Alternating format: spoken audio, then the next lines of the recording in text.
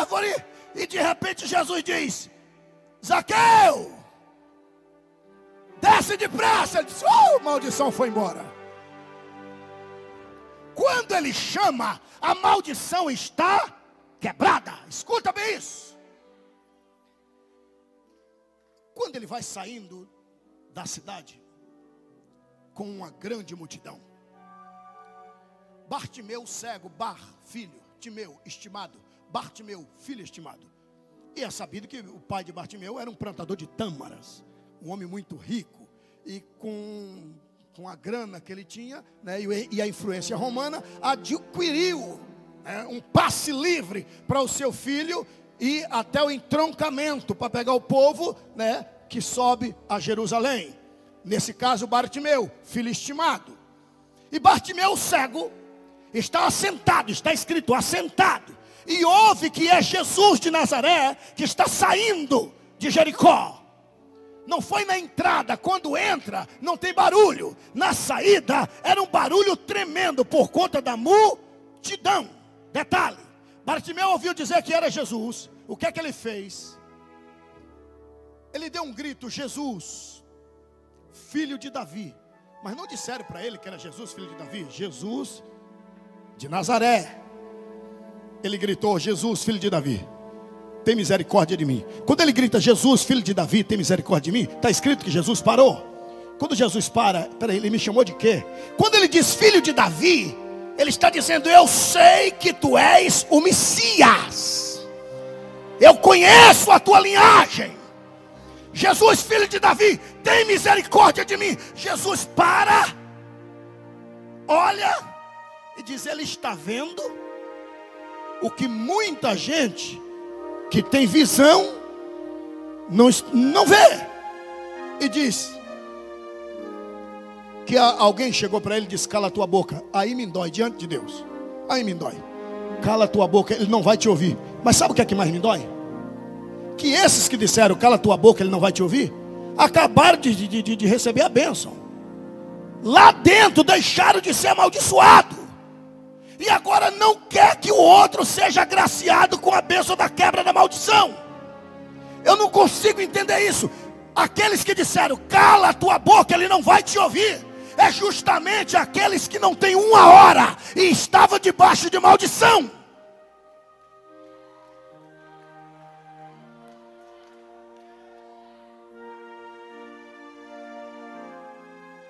Mas por que, que ele não levantou e não foi lá? Não podia. Olha o texto direito, ele permanece sentado. Se ele faz isso, ele pode ser apedrejado. Ele está debaixo de maldição, ele só queria que Jesus o chamasse. Olha o que está escrito. E Jesus mandou chamar. Chegaram para ele e disseram: Tem bom ânimo.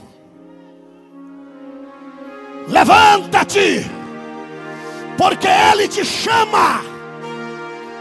Quando disse ele te chama, acabou de dizer: a maldição acabou de ser quebrada.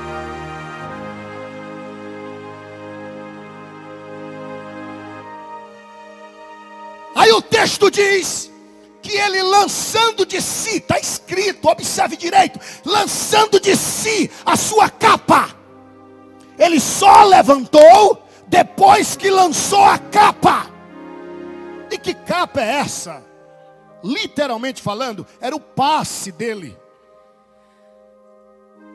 O historiador diz que havia o símbolo de Roma, uma águia imperial, que era o passe. Ele, ele ia para onde ele quisesse com aquela capa. Era um passe adquirido pelo pai dele, pelo seu Timeu. E, e, e tinha limite, ele podia ir até ali. Então aquela capa para ele era tudo, sem ela nada ele lança de si a sua capa, dizendo: Eu não preciso mais. Ele acabou de me chamar. Eu não tenho mais maldição. Lançou de si a capa. E levantou-se, foi ter com ele. Quando chegou perto, Jesus olhou para ele e disse: Que queres que eu te faça? Ele disse: Mestre, que eu veja. Jesus disse: Vê, a tua fé te salvou. E o próprio Jesus disse para ele: Vai. Escuta isso. Jesus disse: Vai. As últimas palavras que nós lemos: Vai. Vai não é para onde eu estou. Se eu estou, não digo vai, eu digo vem. Jesus disse: Vai. Repete isso comigo. Jesus disse: Vai. Para o inferno ouvir. Jesus disse: Vai. Quando Jesus disse: Vai, a tua fé te salvou. Está mandando ele ir embora. Mas sabe o que é que o texto diz? Que ele não foi. Não está escrito e seguiu Jesus pelo caminho. E seguiu a Jesus pelo caminho. E se você continuar a leitura, vai ver que Jesus foi para Jerusalém. Amaldiçoado não podia entrar em Jerusalém. Quando ele disse, ô oh, mestre, desculpa, tá? O senhor está dizendo que é para eu ir. Não é desobediência, não. Mas ir para onde, senhor? O senhor está indo para Jerusalém? É. O senhor disse para eu ir, mas é, eu vou com o senhor, tá? Hã? Eu vou seguir o senhor. E está escrito, e ele seguiu a Jesus. Pastor, não peguei a revelação, você vai pegar agora. E ele seguiu a Jesus. Ou seja, se você acompanhar a leitura, você vai ver que Jesus foi para Jerusalém, a chamada entrada triunfal. Resumindo, ele segue a Jesus e entra em Jerusalém. Pastor, não entendi. Vai entender agora. Jesus entrou em Jericó para quebrar maldição. Não, você não entendeu. Jesus entrou em Jericó para quebrar maldição. Não, você não pegou direito, eu vou repetir. Jesus entrou em Jericó para quebrar maldição.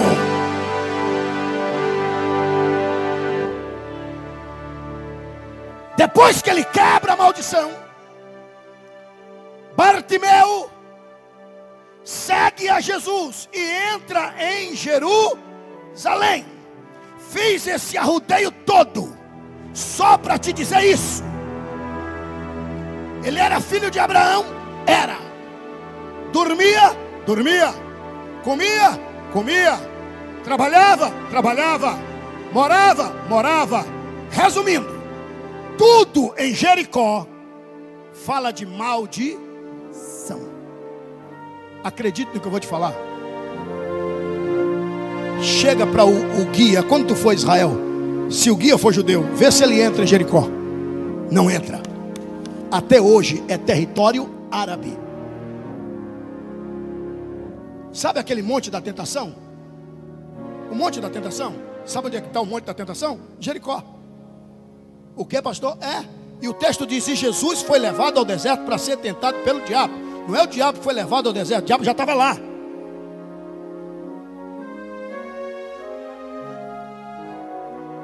Pastor, não estou pegando, não estou pegando. Bartimeu viu a chance de sair de Jericó e ir para Jerusalém. Bartimeu viu a chance de sair da terra da maldição e ir para Jerusalém. Bartimeu viu a chance de uma virada na sua vida. Não, você não está entendendo, eu vou ter que pegar pesado. Esta noite é noite de sair de Jericó e ir para Jerusalém.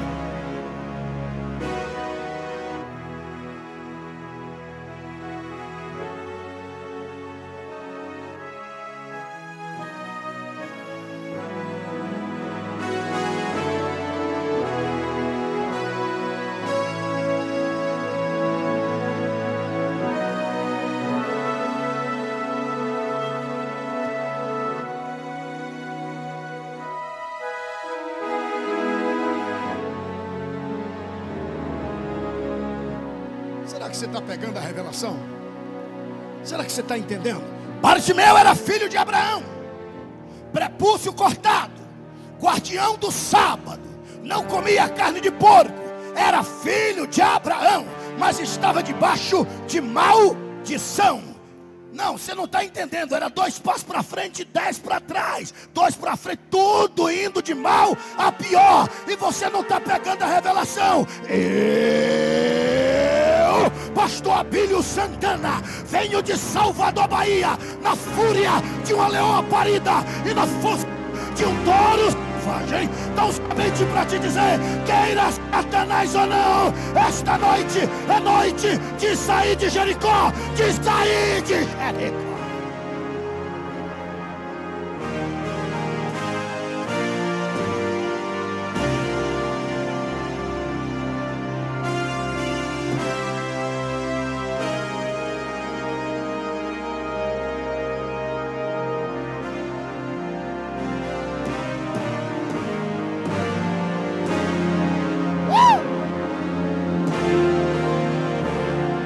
Quantos pode aplaudir ao Rei dos Reis e Senhor dos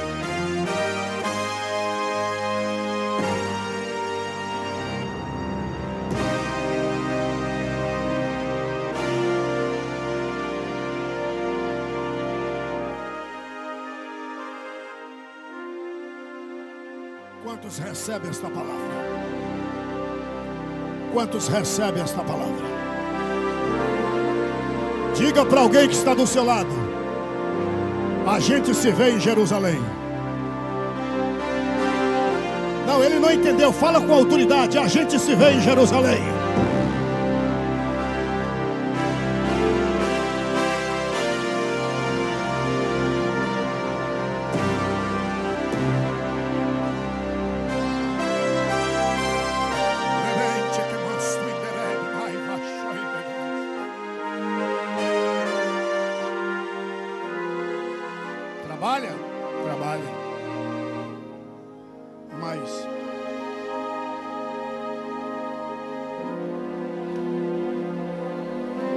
Eu não sei se você já percebeu. Eu não sei se você já percebeu. Quando não acreditam no nosso triunfo, quando não acreditam no nosso sucesso, só esperam o pior. Meu bispo, doutor Samuel, quando não acreditam no nosso triunfo, pastor Samuel Gonçalves, quando não acreditam no nosso triunfo, só esperam o pior. O que tinha de gente que foi passando, né? E, e olhou e, e viu o lugar de Bartimeu vazio e a capa jogada lá. Pensou o pior, morreu. Cadê o cego? Rapaz, morreu. É, mas já que nós já fomos, né? né maldição foi quebrada, vamos correr para poder acompanhar a caravana, né?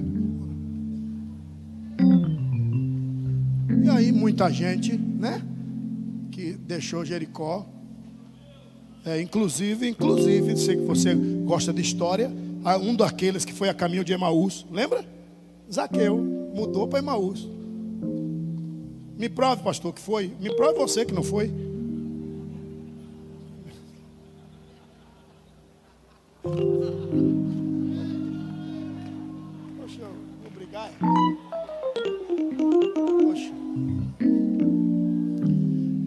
Aí, vem cá.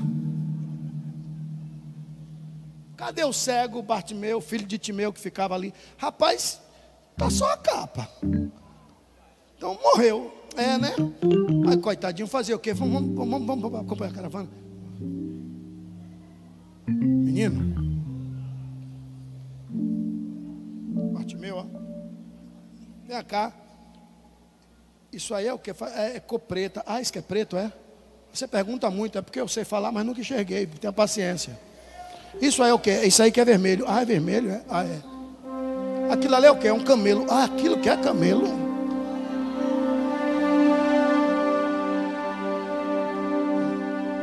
Quando viram Bartimeu no meio da caravana indo para Jerusalém.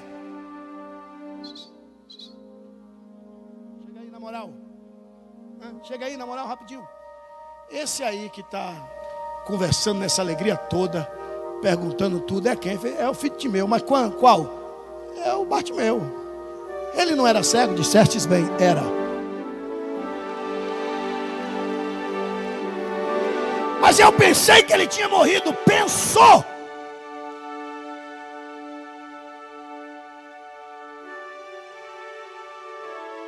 Não entendi, pastor. Passaram a acular e não te viram mais. Porque não viram você, está pensando que você sucumbiu, acabou. Vão te ver em Jerusalém.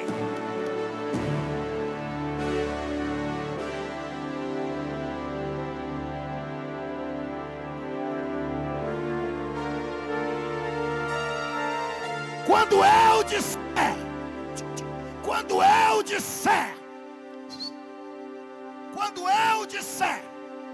Jericó, grita, mas grita para o inferno ouvir, mas você vai dar um grito, nunca mais, mas o nunca mais de quem acredita que a partir de hoje não vai ter mais saláriozinho Jericó, não vai ter mais esse empregozinho Jericó não vai ter mais essa vidazinha Jericó, esse ministériozinho Jericó. Você vai gritar um nunca mais, para não ter mais essa empresazinha de vender o almoço para comprar a janta. Não, não, não, não, você não está entendendo a revelação. Você não está entendendo. Não, você não está entendendo a revelação. Quando eu disser Jericó, grita, grita, grita, nunca mais, mas o nunca mais para estremecer o inferno. E depois do teu nunca mais, eu vou vir atrás e vou dizer: Jerusalém! Aí tu grita: Tô chegando aí! Preparado para sair daqui abençoado até o tutano? Preparado para não cuspir mais em qualquer lugar, porque até a saliva vai estar abençoada? Segura essa, Satanás! Segura essa cabeça rachada! Segura, derrotado do Calvário, igreja viva, igreja militante, gideonitas de Deus, para estremecer o inferno, Jericó, Jerusalém.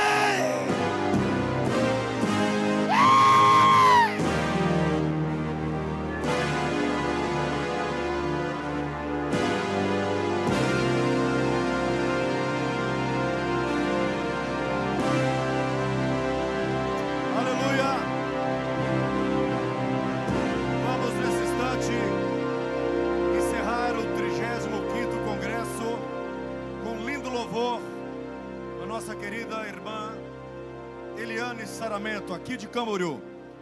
Preparem-se as bandeiras.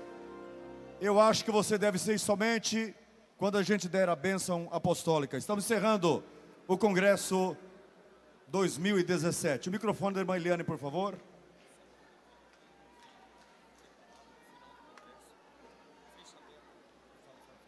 Irmãos, só um minutinho de atenção, enquanto o pessoal, nossas equipes aqui, os missionários pegam as bandeiras para a despedida, nós vamos assistir agora um vídeo que foi preparado com muito carinho dos Gideões Missionários da Última Hora. Nossa produção, por favor, pode soltar? Coloca no telão. Vamos lá. Só um minutinho, irmã Eliane. Vamos o vídeo e a senhora já vai cantar, fechando aqui o 35º Congresso dos Gideões Missionários da Última Hora. Nossa gratidão a todos os irmãos das caravanas, a todos que trabalharam, Gabriel, Deus te abençoe. Vamos lá, vamos ao vídeo.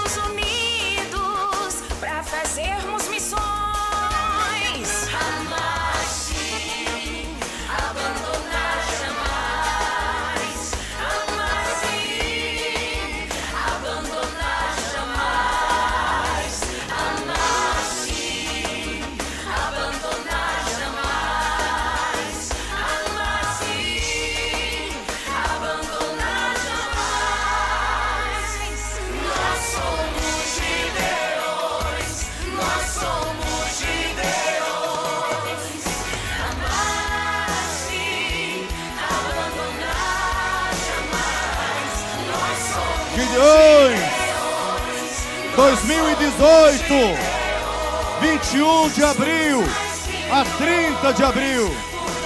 Deus os abençoe, queridos. Tenham todos uma boa viagem. Mas não se esqueçam: amar sim, abandonar jamais. Nossa meta é avançar. 2018, estaremos aqui, eu, minha esposa, pastor Wesley e toda a diretoria, João Fabrícia aguardando todos vocês, queridos. Deus os recompensará. Se prepare para uma grande surpresa no decorrer deste ano.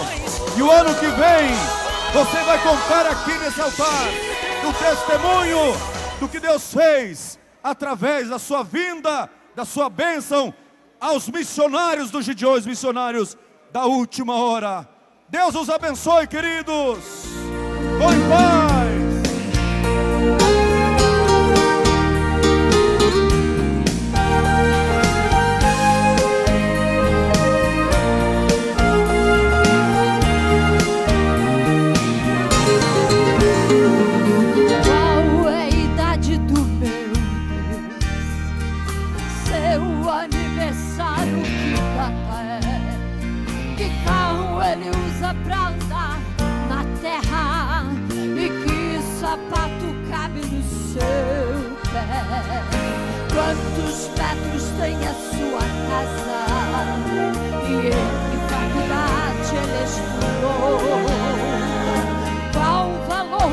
so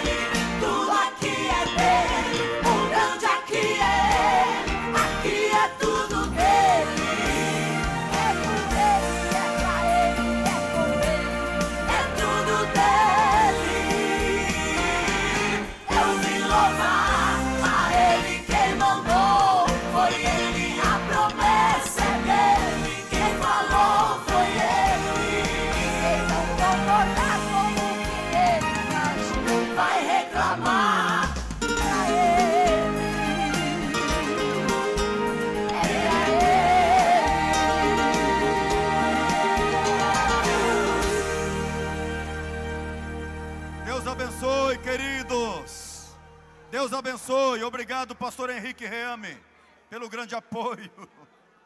Obrigado, queridos motoristas. Obrigado, preocupados que cuidaram de nós, vocês que ficaram na segurança para cuidar das mãos dos malvados. Mateuzinho, fechou com chave de ouro, Mateuzinho. Deixa eu apertar tua mão aqui, tá aqui o Mateuzinho.